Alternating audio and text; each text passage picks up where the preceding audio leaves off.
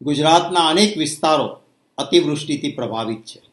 અને હજી આગાહી છે કે બોતેર કલાક સુધી ભારે અને અતિભારે વરસાદ થવાનો છે.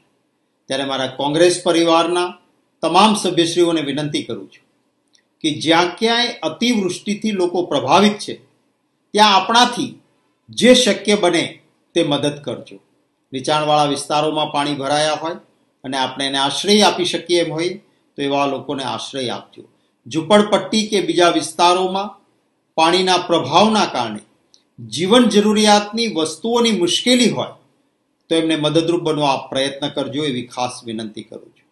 ગુજરાત સરકારને અને કેન્દ્ર સરકારને પણ વિનંતી કરું છું કે આ ઘટના જ્યારે બની રહી છે ત્યારે આપનો ઇતિહાસ એવો રહ્યો છે કે આપ આ સમયે જાહેરાતો કરો છો કે ઉદાર હાથે સહાય આપીશું.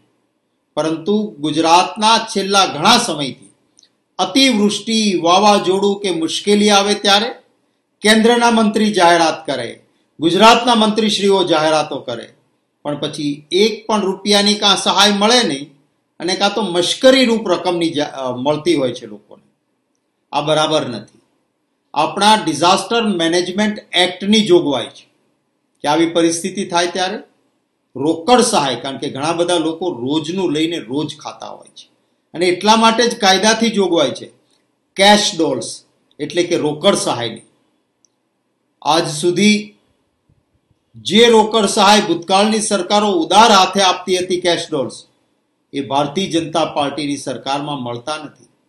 તાત્કાલિક આ વ્યવસ્થા શરૂ થાય એવી પણ વિનંતી કરું છું. જે વરસાદી પાણીના નિકાલ માટે સ્ટ્રોમ ડ્રેનેજ માટે દર વર્ષે કરોડો રૂપિયા કાગળ ઉપર ખર્ચાય છે. સાચા અર્થમાં જો આ કરોડોનું સ્ટ્રોમ ડ્રેનેજ, એટલે કે વરસાદના પાણીના નિકાલનું કામ થતું હોય, તો કોઈ પણ શહેર કે નગરમાં લોકોને મુશ્કેલી ન ઊભી થાય, પાણીનો ભરાવો જ ન થાય. આ અંગે પણ આપે જે આ ભ્રષ્ટાચાર ચાલી રહ્યો છે, એને સરકારે રોકવો જોઈએ.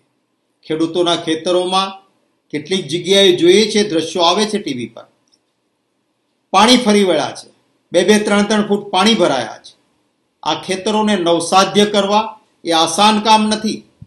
સરકારે ઉદાર હાથે આ ખેતરોને નવસાધ્ય કરવા માટે પણ મદદ કરવી જોઈએ. બચાવ, રાહત અને પુનઃવસન આ ત્રણ સ્ટેજ હોય છે. કમનસીબે જ્યારે જ્યારે હમણાં છેલ્લા સમયથી આફતો આવી છે ત્યારે આ ત્રણેય સ્ટેજની કામગીરીમાં સરકાર ઊણી ઉતરી છે. આશા રાખું છું કે આ વખતે સરકાર તત્પરતા દાખવે, અમારી જ્યાં જરૂરિયાત હશે, અમારા કોંગ્રેસના કાર્યકર્તાઓ કોઈ પણ જાતનું રાજકારણ લાવ્યા વગર તંત્રને જ્યાં જરૂર હશે, ત્યાં પૂરી મદદ ખભે ખભા મિલાવીને કરીશું એ વાતની પણ ખાતરી આપું